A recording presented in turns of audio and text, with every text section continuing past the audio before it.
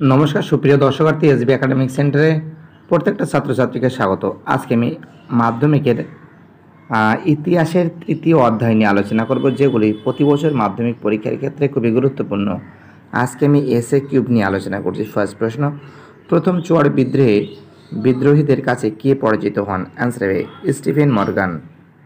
ঠিক আছে, তিনি ছিলেন প্রথম ইংরেজি মানে ইংরেজ সেনাপতি, প্রথম চুয়ার বিদ্রোহে বিদ্রোহীদের কাছে পরাজিত হন। আহ, দু নম্বরের প্রশ্ন সতেরোশো আটানব্বই খ্রিস্টাব্দে চুয়ার বিদ্রোহের নেতৃত্ব কে দেন? অ্যান্সার হবে দুর্জন সিং সতেরোশো আটানব্বই খ্রিস্টাব্দে চুয়ার বিদ্রোহের নেতৃত্ব দেন। তিন দাগের প্রশ্ন দ্বিতীয় চুয়ার বিদ্রোহ কত খ্রিস্টাব্দে শেষ হয়? সতেরোশো নিরানব্বই খ্রিস্টাব্দে।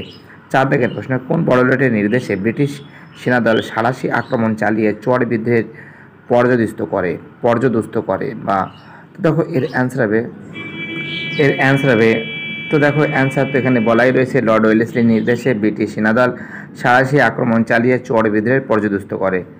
ঠিক আছে? পাঁচ নম্বরের প্রশ্ন, আতঙ্কের পরিবেশ সৃষ্টি করার জন্য চর বিদ্রোহীদের বিদ্রোহী মানে বিদ্রোহের নেতাদের কি করা হয়েছিল? অ্যান্সার হবে, আতঙ্কের পরিবেশ সৃষ্টি করার জন্য চর বিদ্রোহীদের ফাঁসি দেওয়া এবং তাদের ঘাঁটিগুলিতে অগ্নিসংযোগ করা হয়। পরের প্রশ্ন, ছয় দাগের প্রশ্ন, চর বিদ্রোহ সম্পর্কে জেসি প্রাইস কি লিখেছেন। জেসি প্রাইস সতেরোশো আটানব্বই ও সতেরোশো নিরানব্বই খ্রিস্টাব্দকে খ্রিস্টাব্দকে ভয়ঙ্কর চোর, চুয়ার বিদ্রোহের বছর হিসাবে চিহ্নিত করেছেন। সাত প্রশ্ন, কোলরা কোথায় বাস করত? অ্যান্সার হবে, কোলরা বর্তমানে ঝাড়খণ্ডের ছোটনাগপুরে বাস করত। আট প্রশ্ন, ছোটনাগপুরের কোলরা ছাড়াও কোন উপজাতি বাস ছিল? অ্যান্সার হবে, কোলরা ছাড়াও এখানে মুন্ডা, হো ওরাও প্রভৃতি সম্প্রদায় বাস ছিল। পরের প্রশ্ন, নয় দাগের প্রশ্ন, অরণ্যের অধিকারকে কোলরা কি মনে করত? অ্যান্সার হবে, অরণ্যের অধিকারকে কোলরা ঈশ্বর প্রদত্ত অধিকার মনে করত। দশ নম্বর, দশ নম্বরের প্রশ্ন কি বলেছে? দর্পনাথ শাহী কোথাকার রাজা ছিলেন? অ্যান্সার হবে দর্পনাথ শাহী ছিলেন পালাময়ের রাজা। এগারো দাগের প্রশ্ন দর্পনাথ শাহীর সঙ্গে কোম্পানির কি চুক্তি হয়েছিল? দর্পনাথ শাহীর সঙ্গে কোম্পানির ইতিপূর্বে নির্ধারিত বাৎসরিক খাজনা ছাড়াও অতিরিক্ত ছয় হাজার টাকা কোম্পানিকে দেওয়ার চুক্তি হয়েছিল। পরের প্রশ্ন, কত খ্রিস্টাব্দে কোম্পানি ও দর্পনাথ শাহীর চুক্তি হয়? অ্যান্সার হবে, সতেরোশো সত্তর খ্রিস্টাব্দে কোম্পানি ও দর্পনাথ শাহীর চুক্তি হয়। পরের প্রশ্ন, কোম্পানি কত খ্রিস্টাব্দে ছোটনাগপুরের শাসনভার সরাসরি সরাসরি গ্রহণ করে? অ্যান্সার হবে, আঠারোশো কুড়ি খ্রিস্টাব্দে কোম্পানি ছোটনাগপুরের শাসনভার সরাসরি গ্রহণ করে।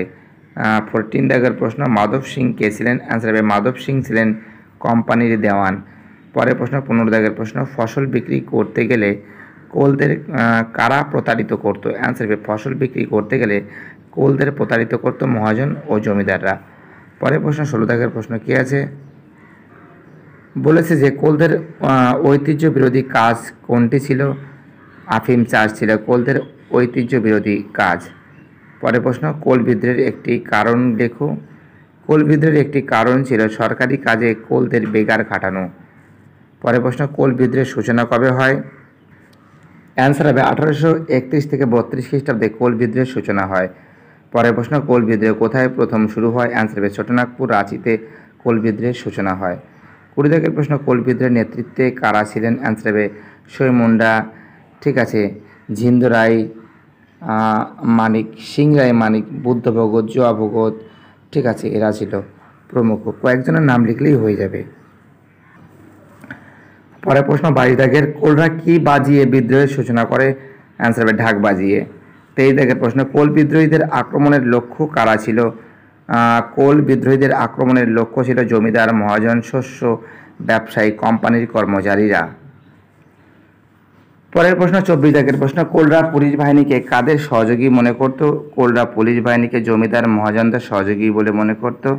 পঁচিশ দাগের প্রশ্ন, কোল বিদ্রোহ দমন করতে কারা নেতৃত্ব মানে কার নেতৃত্বে ইংরেজ বাহিনী এসেছিল? অ্যান্সার হবে, কোল বিদ্রোহ দমন করতে ক্যাপ্টেন উইলকিন্সের নেতৃত্বে ইংরেজ বাহিনী এসেছিল। পরের প্রশ্ন কি আছে? পরের প্রশ্ন, ছাব্বিশ দাগের প্রশ্ন, কোলদের সমরাস্ত্র কি কি ছিল? তীর, ধনুক বল্লম প্রভৃতি ছিল। সাতাশ দাগের প্রশ্ন, দক্ষিণ পশ্চিম সীমান্ত এজেন্সি নামক পৃথক অঞ্চল কত খ্রিস্টাব্দে গঠন করা হয়? আঠারোশো চৌত্রিশ খ্রিস্টাব্দে। গঠন করা হয়। পরের প্রশ্ন, চব্বিশ দাগের প্রশ্ন, একটি উপজাতি বিদ্রোহের নাম লেখো। অ্যান্সার হবে কোল, সাঁওতাল, মুন্ডা। কোল বিদ্রোহ, সাঁওতাল বিদ্রোহ, মুন্ডা বিদ্রোহ এইগুলো সম্পূর্ণ উপজাতি বিদ্রোহ।